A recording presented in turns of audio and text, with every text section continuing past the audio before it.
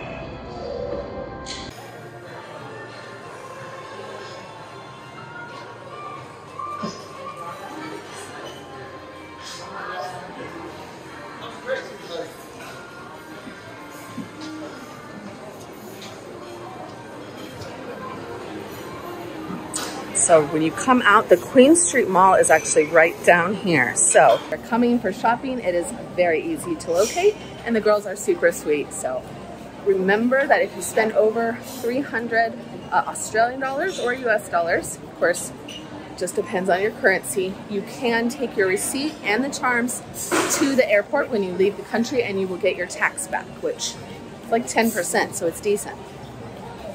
We'll see y'all in the next video. And if we go any other places in Australia with a Pandora, I will keep adding them to this video. But we're going to a lot of little places, so I'm not expecting to see that many.